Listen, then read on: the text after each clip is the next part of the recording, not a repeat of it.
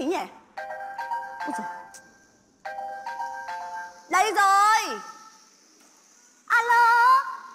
Ừ y tế nghe đây ạ. Chị ơi chị có mỗi một cái việc bác sĩ lườm với cả quát bệnh nhân mà chị cũng phải gọi điện vào đường dây nóng à? Chị mà nói như thế này thì còn bác sĩ nào người ta dám khám bệnh cho chị nữa? Thôi, chị tự xử đi nhá.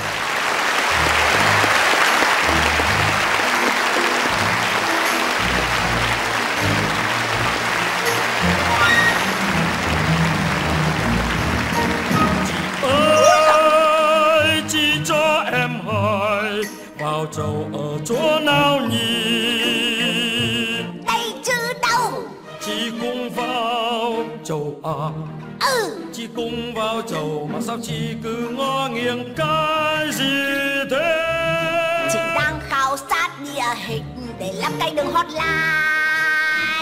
Hotline là gì hả chị?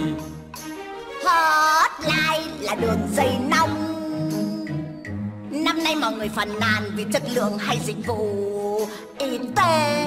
Họ có thể nhấc máy gọi trực tiếp cho chị để chị xử lý. Thế chị là? Chị là y tế, thế còn chú? Em là giao thông. Ở Linh mới à? Vâng em mới được bổ nhiệm năm nay.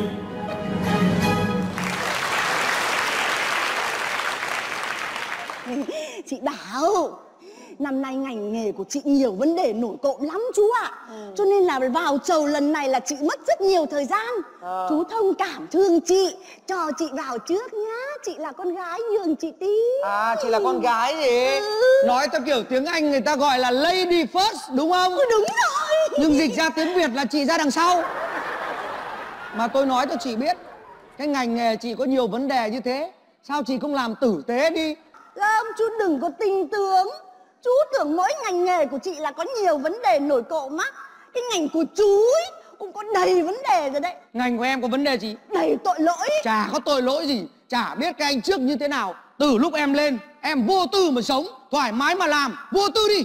Có thật là chú bảo chú vô tư không? Vâng. Được rồi chú nhớ nhá. Nhớ chứ. Nghe này. Cái gì?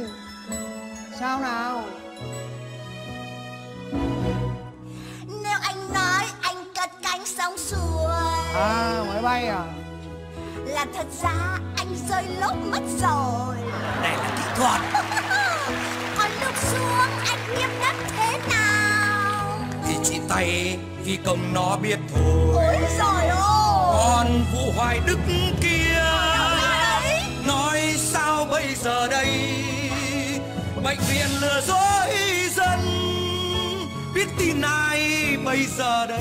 Lừa dối nào giờ Thôi xin cô chớ Thử máu xong rồi lại copy.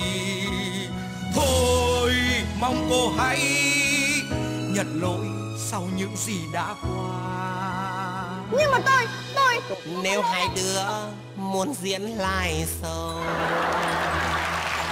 Thì tao khuyên xin giấy phép đàng hoàng còn cứ đứng hát nhang hát cuội. Thì tao cho thiên lôi ra bắt.